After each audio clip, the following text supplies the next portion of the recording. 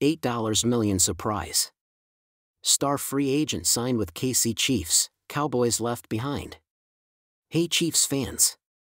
Today, we've got some exciting news that could shake up our defense in a big way. Stick around to find out who we're eyeing as a potential game changer. The Kansas City Chiefs are always looking for ways to strengthen our team, and right now, there's a hot topic on the table. We're considering bringing in a seasoned cornerback to bolster our defense. Who could this be?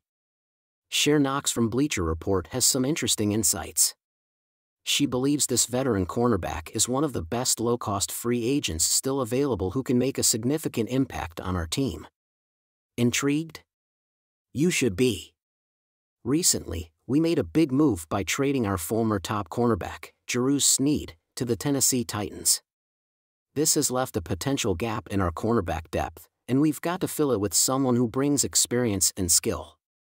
Even at 33 years old, this cornerback had a standout season with impressive stats 68 total tackles, 2 interceptions, and 13 passes defended.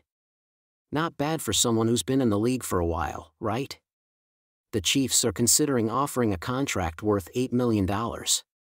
Adding this player to our roster could bring invaluable veteran leadership as we aim for our third consecutive Super Bowl championship.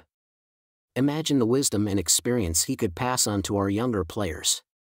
Okay, you've waited long enough. The cornerback we're talking about is none other than Stephon Gilmore.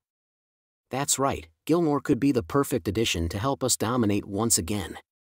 Stay tuned, Chiefs fans, and keep the faith. Go Chiefs!